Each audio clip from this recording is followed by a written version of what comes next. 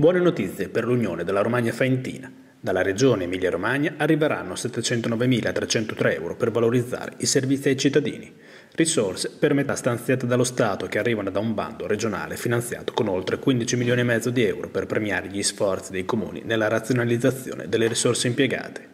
Gli oltre 700.000 euro destinati alla Romagna Faentina sono il secondo maggior finanziamento destinato alle 41 unioni che hanno partecipato al bando. L'importo maggiore è sempre finito in provincia di Ravenna, alla Bassa Romagna, con oltre 750.000 euro. Entrambi gli stanziamenti sono di gran lunga superiori alle largezioni a favore delle altre unioni, le quali non superano 450.000 euro. La ripartizione delle risorse ha tenuto conto del numero e della consistenza delle funzioni gestite, della popolazione, del territorio e del numero dei comuni dell'Unione e inoltre dell'effettività economica della gestione delle funzioni. È una soddisfazione perché è la riprova della validità del progetto strategico che supporta lo sviluppo della nostra Unione.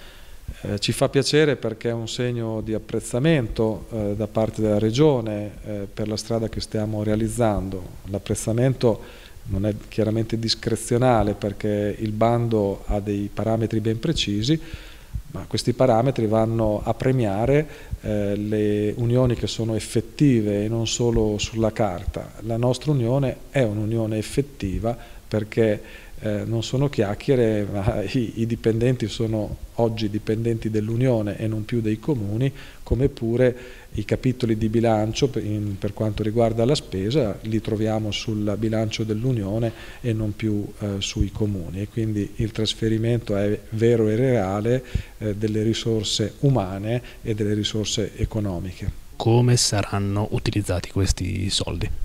Beh, questi sono i contributi previsti dalla legge sul piano di riordino territoriale per incentivare lo sviluppo eh, delle unioni dei comuni.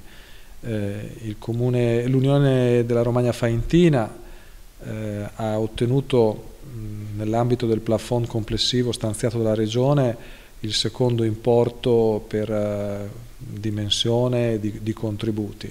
Sono somme assolutamente fondamentali per eh, sostenere lo sviluppo dell'Unione, eh, per finanziare eh, i servizi gestiti in comune, in particolare eh, i servizi cosiddetti trasversali e, e anche per eh, sostenere gli investimenti eh, che sono indispensabili per poter lavorare insieme, a partire dagli investimenti informatici che sono i, i primi eh, a, a essere messi in campo per poter avere una gestione unitaria dei servizi.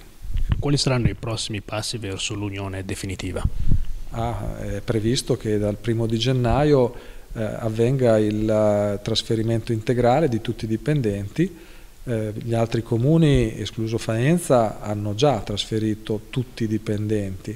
Solo Faenza ha tuttora in organico una settantina di, di persone che verranno trasferite entro il primo di gennaio, eh, unitamente alle residue funzioni che ancora sono in capo ai comuni e quindi verrà trasferito il, la funzione patrimonio, gestione del patrimonio, eh, verrà trasferita la, la, il servizio cultura, eh, lo sport e eh, tutti quei servizi trasversali come l'assistenza agli organi sociali, le segreterie, il servizio contratti, appalti e il contenzioso legale.